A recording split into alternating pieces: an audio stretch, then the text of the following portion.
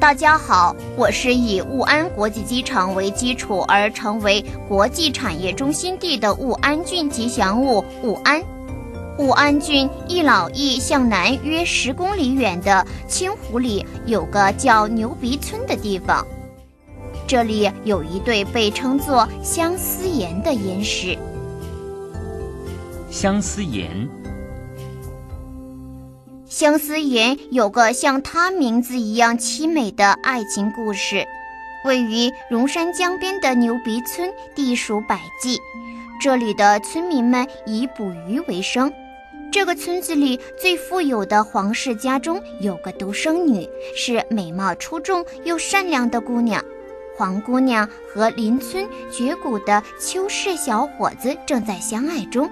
姓邱的小伙子当然也是个渔夫。有一天，姓邱的小伙子要去西海捕鱼了。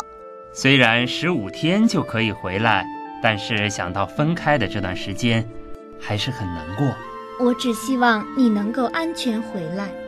虽然西海的水势比荣山江更凶猛一些，不过我一定会满载而归的。一定要安全回来。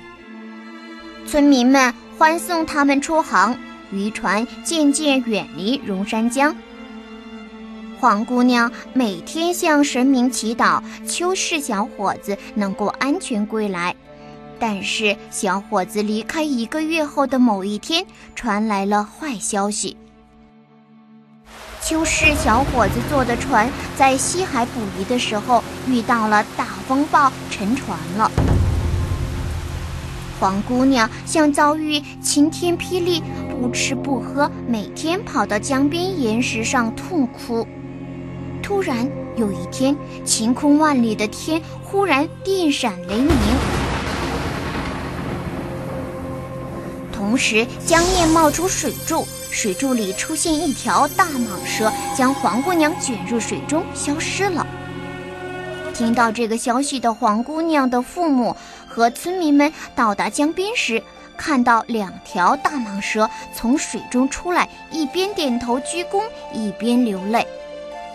这两条大蟒蛇就像两个相爱的人一样，缠着对方不放开。